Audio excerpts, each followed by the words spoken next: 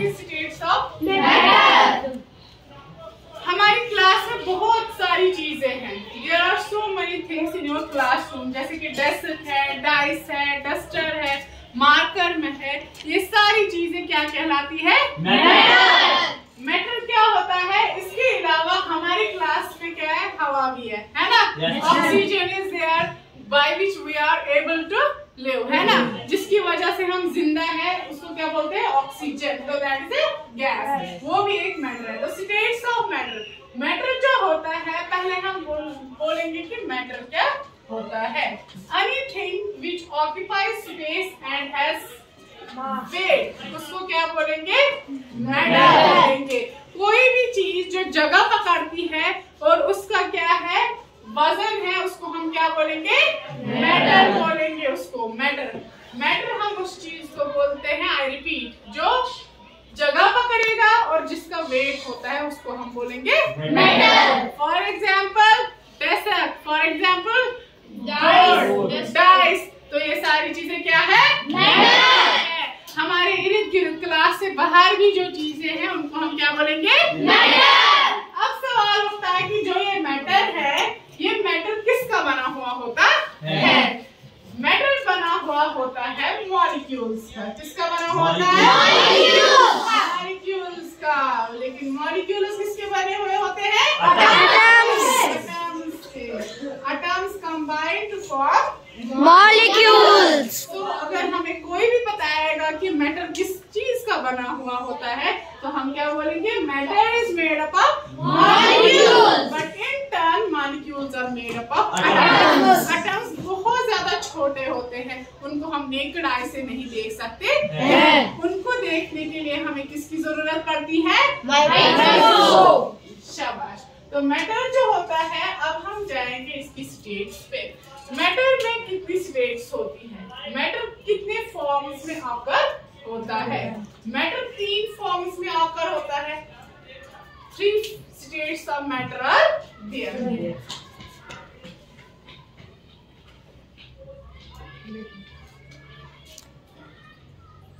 solids liquids Yes. and Gases. There are three states of Matter. Solids, liquids, and Gases. Or we can say matter occurs in three forms. Solids, liquids, and gases. gases. पहले हम बोलेंगे कि solids क्या होता है solids solid क्या होता है? जैसे वो मैटर होता है, मैंने आपको पहले ही बताया, जो मैटर होता है उसके थ्री स्टेट्स होते हैं, लेकिन मैटर जो है, किसका बना हुआ होता है? मॉलिक्यूल्स का और एटम्स का। Atoms they combine to form molecules and form matter जो सॉलिड्स होते हैं, ये भी फिर किसके बने हुए होते हैं? मॉलिक्यूल्स के बने हुए होते हैं। फॉर एग्ज़ाम्पल हम ऐसे लेंगे वुडन ब्लॉक के किसी भी चीज़ को हम लेंगे that is matter matter solid में क्या होता है? जो मॉलिक्यूल्स होते हैं मॉलिक्यूल्स पहले मैं आपको बताऊँगी मॉलिक्यूल्स जो होते हैं फॉर एग्ज़ाम्पल ये एक मॉलिक्यूल है ये दूसरा है। इनके बीच में जो जगह होती है that is called intermolecular Space. Intermolecular. Intermolecular space हाँ। अगर हम सॉलिड्स की एग्जांपल लेते हैं सॉलिड्स में क्या होता है? It is also made up of molecules because solids जो हो ये भी तो मैटर ही है। सॉलिड्स बने होते हैं मॉलिक्यूल्स के और इनके मॉलिक्यूल्स के बीच इंटरमॉलिक्यूलर स्पेस होता है लेकिन वो ना बराबर होता है। ये टाइटली पैक्ड होते हैं। Take an example of an vehicle vehicle में आप चढ़ रहे हो उसमें बहुत ज़्यादा भीड़ है बहुत ज़्यादा पैसेंजर्स है। तो उस वजह से वो टाइटली पैक्ड है बहुत ज़्यादा। तो उनके बीच में जो स्पेस है वो ना बराबर है है ना? तो इसमें same is the case of solids solids में क्या होता है? जो इंटरमॉलिक्यूलर स्पेस होती है वो बिल्कुल कम होती है। यही रीजन है कि सॉलिडस में क्या होता है? इनमें मॉलिक्यूल स्लाइड नहीं कर पाते। मूवमेंट उनमें बहुत ज़्यादा कम होती है। मूव नहीं कर पाते हैं और यही रीजन है कि जो सॉलिड इसमें मॉलिक्यूल्स होते हैं they are tightly packed and that gives them a definite shape so अगर आपको कोई सॉलिड बोलेगा सॉलिड क्या होता है? सॉलिड जो होता है इट इज़ अ मैटर है ना?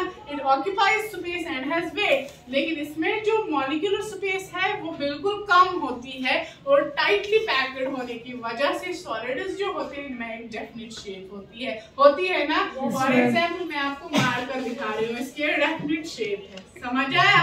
मैं आपको टेबल दिखा रही हूँ। ये भी सॉलिड की एग्जांपल है तो इसमें एक डेफिनेट शेप होती है। समझ आया? नेक्स्ट लिक्विड्स लिक्विड्स क्या होते हैं? They are also made up of metal और metal in turn is made up of और in between molecules there is a space that is called intermolecular space inter space लेकिन as compared to solid इसमें क्या है? Liquids में जो intermolecular space होती है, वो थोड़ी बहुत होती है। टाइटली पैक्ड नहीं होते हैं मॉलिक्यूल्स है ना?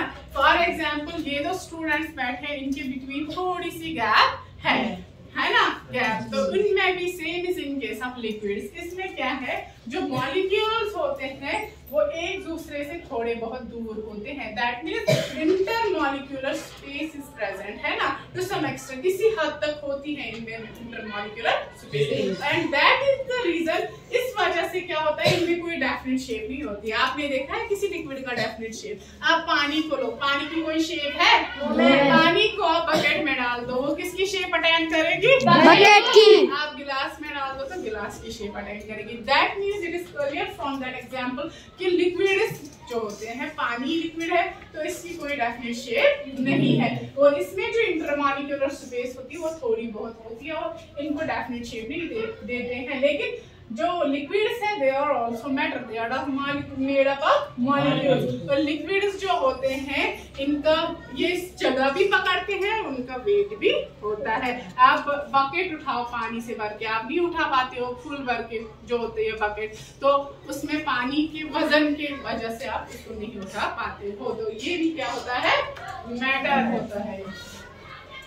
फिर है? गैसेस गैसेस के क्या होता है? ये भी क्या होते हैं? They are also form of matter matter में क्या होते हैं? मॉलिक्यूल्स लेकिन इनमें मॉलिक्यूल्स क्या होते हैं? They are very far apart from each other इसमें जो मैटर होता है वो बहुत ही ज़्यादा क्या होता है? फॉर अवे होता है। जैसे कि गैसेस में आपको पता है कि गैसेस में किस चीज़ तो गैसेस में क्या होता है?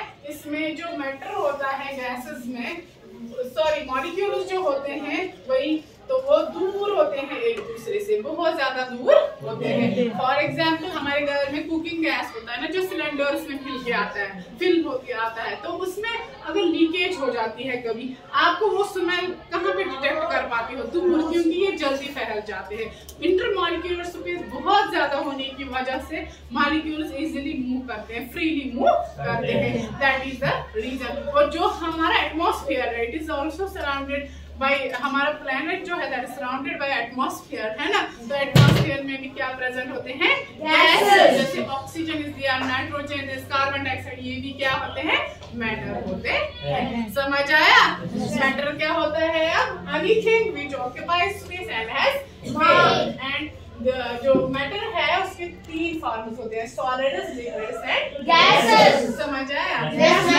जो मैटर है जो स्टेट है फॉर्म है मेटल की उसको हम चेंज कर सकते हैं. From one form into another form उसको हम क्या बोलेंगे? Change of State. Change of state हम कैसे कर सकते हैं? चेंज ऑफ़ स्टेट जो है इसका मतलब होता है इसकी फॉर्म जो है मेटल की वो हम चेंज कर सकते हैं. लेकिन जो चेंज ऑफ़ स्टेट है some change are permanent and some are temporary कुछ ऐसे होते हैं जो टेम्पोरेरी होते हैं जिनको हम रिपीट कर सकते हैं जिनको हम वापस रिवर्स सॉरी कर सकते हैं। रिवर्स कर सकते हैं उनको हम कौन सी चेंज बोलेंगे?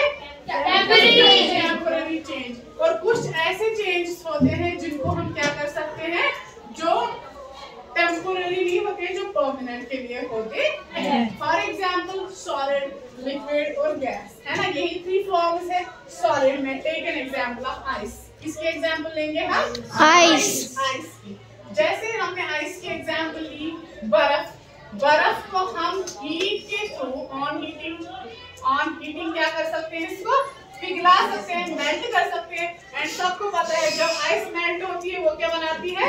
वाटर बनाती है। That is the liquid form of matter liquid है ये वाटर तो वाटर बन गया heating ice ice gets converted into Water. water so ice is solid solid upon heating gets converted into Liquid. और जो water होता है उसको again हम heat करते जाएँगे continuously. That will get converted into water Vapors. Water vapor. That is a gas तो ये भी फॉर्म है मैटर की वो गैस में चेंज होता है। लेकिन ये वाली चेंज जो है जिसमें हमने फॉर्म चेंज की इसको सॉलिड को क्या किया? मेल्ट करके लिक्विड में उसको वेपराइज किया फिर वो गैस बना। तो यहाँ पे क्या हो रहा है? सॉलिड लिक्विड गैस ये जो चेंज है ये टेम्पोरेरी चेंज है। क्योंकि हम गैस को वापस कूल करके लिक्विड बना सकते हैं और बाद में इसको क्या कर सकते हैं? लिक्विड फॉर्म को फिर से हम फ्रीज करके उसको सॉलिड में चेंज कर सकते हैं। समझ आया? जैसे हमने वेपर्स बनाए ना बॉइल करके आइस को लिक्विड बनाया लिक्विड को किसमें चेंज किया? हमने स्टीम में। तो वो वेपर जब कूल हो जाते हैं फिर से क्या बन जाता है? पानी बन जाता है। जैसे आपने कंडेंसेशन पढ़ा है वहाँ पे क्या कौन सी प्रोसेस होती है? वाटर वेपर कूल होके फिर से क्या बनाते हैं? वाटर बनाते हैं। और उसी वाटर को अगर फिर से हम फ्रीजिंग पॉइंट पे लाएँगे वो जम जाएगा। वो क्या बनेगी? बर्फ़। और बर्फ़ क्या होती है? सॉलिड ये होती है सॉलिड फॉर्म ऑफ़ मैटर तो ये चेंज जो होती है this is temporary change why it is temporary change because it can be reverse पूरी प्रोसेस को हम रिवर्स कर सकते हैं। दिस इज़ द कौन सी प्रोसेस हो गई है? कौन सी चेंज हो गई है. फ़िज़िकल चेंज हो गई है। कौन सी चेंज हो गई? केमिकल चेंज केमिकल चेंज जो है वो परमानेंट चेंज होती है। उसको हम रिवर्स नहीं कर सकते हैं। जैसे कि हमने पीस ऑफ़ क्लॉथ लाया पीस ऑफ़ पेपर लाया उसको बर्न किया। And that gets changed into ash है ना? वो राख में बदल गया। तो राख उसको हम वापस से पेपर बना सकते हैं? No. कौन सी चेंज हो गई. Permanent change and that is chemical change उसको हम वापस नहीं कर सकते ठीक है that is all for today